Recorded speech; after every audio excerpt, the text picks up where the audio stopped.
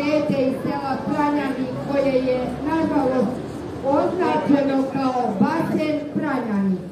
Kao selo koje obuhvata još četiri sela ispod Suobora u kojima će se istraživati bor i litijum i ostali elementi.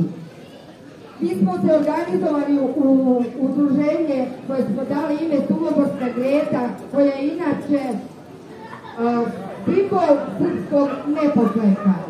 Dakle, Suloborska Greta je venac planina koja se prostiru od rudnika pa sve do cera i tu je naš Vojvoda Živojin Mišić izvojevao prvu značajnu pobedu u Prvom svjetskom ratu.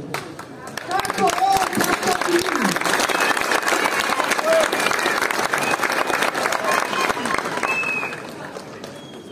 Moram da vam kažem da nažalost nije dovoljno rečeno o Rio Pintu i o Ličinu. Nije dovoljno zato što nije došlo do posljednjeg sugrađanina u zemlji Srbiji. Nije došlo zato što nije obišla priča sva sela u Niškoj opštini. Suvomovska greda je napadnuta sa sve četiri strane. Nije u pitanju samo basen Pranjani. Sa druge strane je Mionica, te također vrše istraživanja.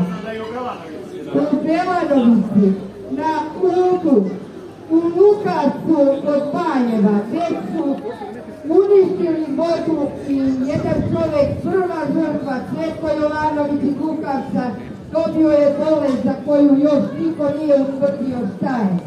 Presušili su bunari, oni koji nisu presušili, voda im je otrovana. Vrelo nikada u istoriji od kad pamte najstariji sugrađani nije presušilo ove godine je presušilo. Taonska vrela su označena za rud. Sva naša vodoizvorišta ljudi su u velikoj opasnosti. Ili će nam vode pokupiti, ili će nam zatrovati. A onda je došao Nemac Šok da nam kaže Nemcima treba naš litijum. A Rio Tinto je uradio navodno studiju utjecaja na životnu sredinu koju ja nazivam novi Ausweis. Takve studije nisu preživjeli naši preci koji su poverovali švabama da im misle dobro. Gospođa Ursula dva puta za 15 dana dolazi u Srbiju a bilo gdje u svetu, ako treba da dođu, pripreme traju devet mjeseci. Zašto vam sve ovo pričam? Da shvatite da je problem mnogo veliki. Verujte, veći nego onaj 914. i veći nego onaj 41. godine. Zašto je veći? Zato što su tada neprijatelji dolazili sa puškama u uniformama, dolazili su sa tenkovima i narod nije imao druge nego da uzme pušku pa da se brani. Danas dolaze sa torbama starog papira koje zovu novac, koji se štampa u Americi svake godine po neku štampariju još dokupe da mogu što više tog bezvrednog papira bez pokrića da nas štampaju i da nam za taj novac sa kojim ćemo verovatno jednog dana moći samo vatru da potpalimo, toliko je prlja da ništa drugo ne može poslužiti. Ali bojim se da će biti kasno jer ćemo ko zna, jer ćemo ko zna kad, gdje tada živjeti. Tačno je, ima. To nije tako. Znači nije Uzeli su nam oružje prošle godine, ali imamo kuke i motike. Tako je. Dakle, narod je na jadu, ako mislite na jadan, prvo zaveden, rečeno im je da će rudnik da zahvata samo par hektara da će da bude ko u apoteci, da će ljudi da se tamo zaposle, da će da žive srećno i rad. A nema rodika.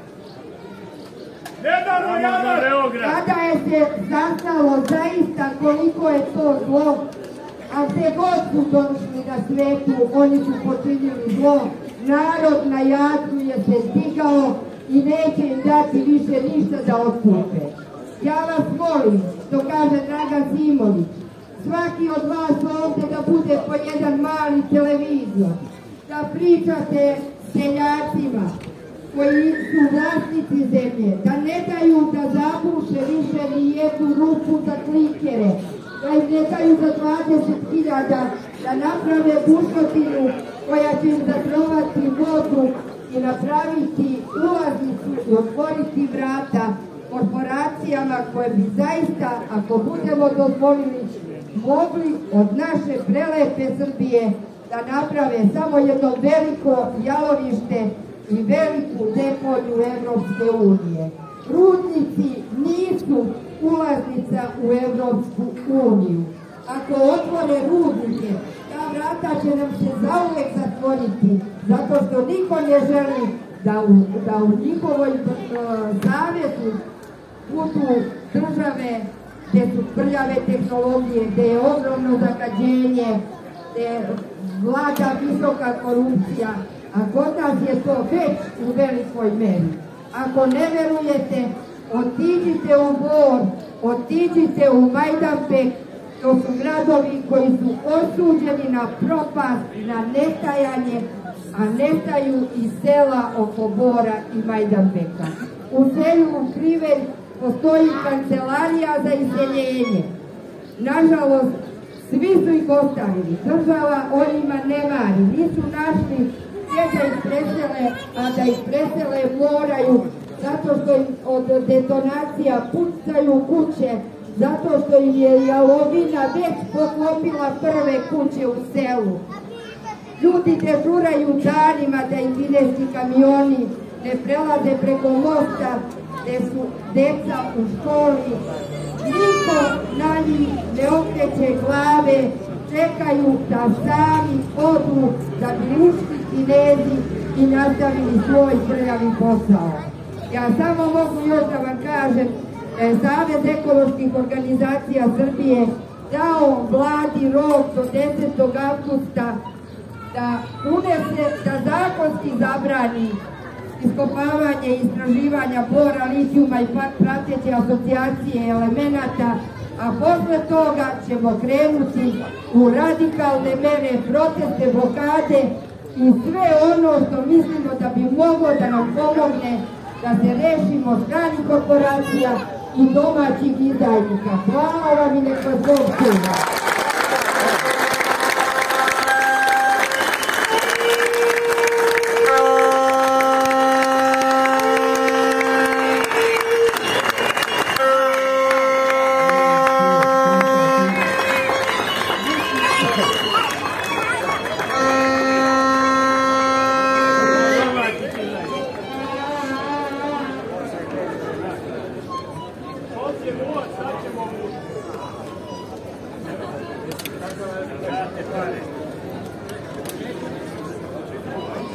mim.